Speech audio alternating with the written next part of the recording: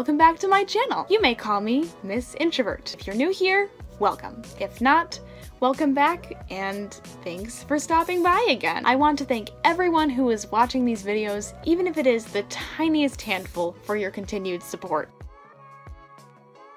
This is a safe place for introverts who need some helpful writing advice and relatability. If you're an extrovert and you like to write as well, feel free to listen in. We love all the introverts, extroverts, ambiverts, and all the verts here on this channel. So, where do you get an idea? Where's the nearest store to find such things? Ideas are actually very easy to find. In fact, easier than we think. The hard part, as I have come to learn, is crafting them into a full length novel. But it looks so good and amazing. We writers all have that wish that our genius ideas would just appear in front of us in the form of a story. But sadly, that's not how it works. We have to write that story. Not getting any ideas, general or specific? Have no fear. I am going to share with you what I've learned about searching for ideas or brainstorming. I also have a couple of anecdotes that will hopefully clarify my points. Before I begin, don't forget to subscribe and hit that like button if you enjoy this video, introverts, writing, or anything else we talk about today. If you have any critiques or suggestions for future videos, make sure you comment down below. Also, comment down below your most recent idea. It can be a book, a pet name, a business plan, any concept that helps those gears turn in your brains. Okay, how to make a segue. Let's see. Oh! I just had an idea for a segue because I read about it from someone else's perspective. And my mention of that idea is my segue into my first topic, abrupt as it may be. Number one, learning from someone else. So you've had an idea before and it came from something familiar. Maybe it was something out of the ordinary that your brain just conjured up and vomited onto a piece of paper. Mine does that often. Sometimes it's from weird dreams that I had the night before, but I'm getting off topic. When you've had the feeling of being part of an audience, you experienced a new form of entertainment or you rewatched Avatar again, like I do. Regardless, your brain is taking in that information, and with our pesky and proactive writing minds that are always two steps ahead of us, we are generating our own ideas from what we've just seen. A poetry handbook by Mary Oliver defines this phenomenon as imitation and states, before we can be poets, we must practice imitation is a very good way of investigating the real thing.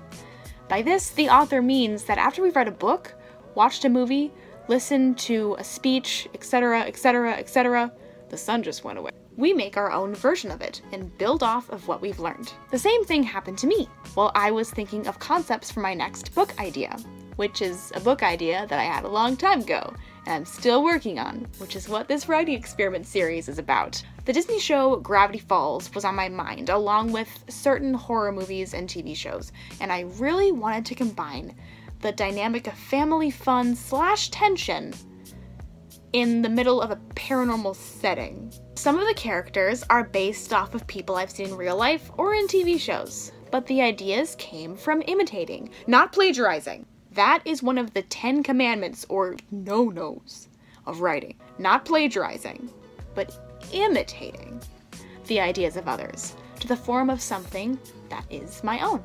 Again, quoting Mary Oliver, you would learn very little in this world if you were not allowed to imitate. Number two, taking a break. Whether you've been writing forever or you've just started the process, it can be hard work and your brain will run out of fuel eventually. That's why it's important to give your brain time to recharge and rethink of all the ideas and even find the plot holes in certain plots or wherever you are in the writing process. Just like us introverts, we need time to recharge after being around people for too long. Do what you need to do to give yourself a break. Definitely don't overwork yourself or you'll go crazy. Writers, you know what I'm talking about. You'll start talking the way you write. You don't want that. You may offend or scare people off. I'm certainly no stranger to such things. As a matter of fact, it wasn't long ago when I last fell prey to the- Ah, oh, dang it, I did it again! Go on a walk, take a vacation, and go somewhere you've never been. Or like we talked about, gain more inspiration from books and other forms of storytelling.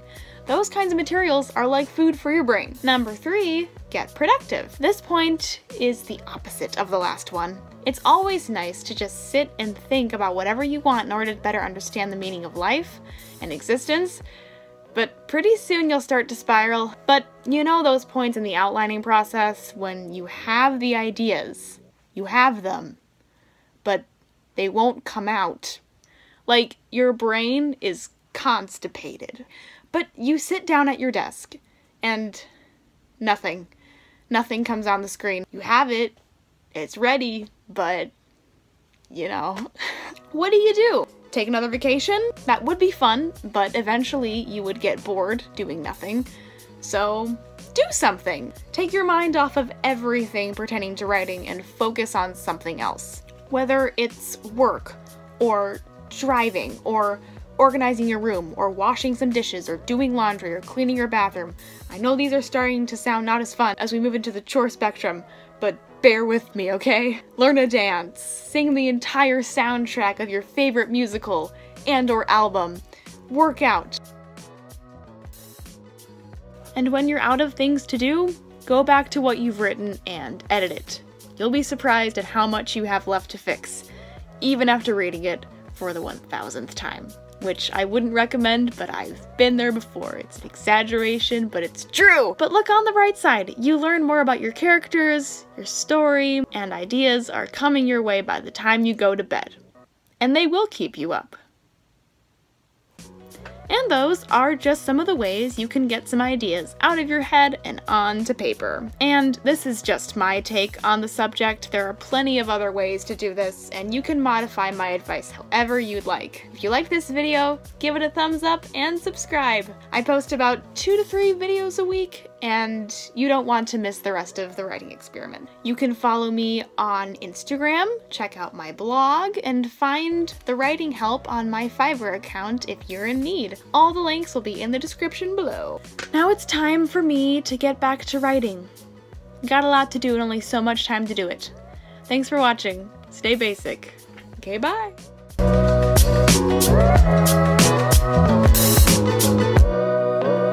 Also, if you're disappointed because there was no skit at the beginning of the video, I sincerely apologize. They're gonna be at the end now, but instead of a skit, I'll be doing shoutouts. In the writing experiment, I'm going to have shoutouts at the end of my videos, and on my regular basic videos, they'll be the weird skits that my mind comes up with. Ideas, ideas. If you want to be featured in next week's writing experiment shoutout, give this video a like and be the first to comment on it. Okay, bye for reals.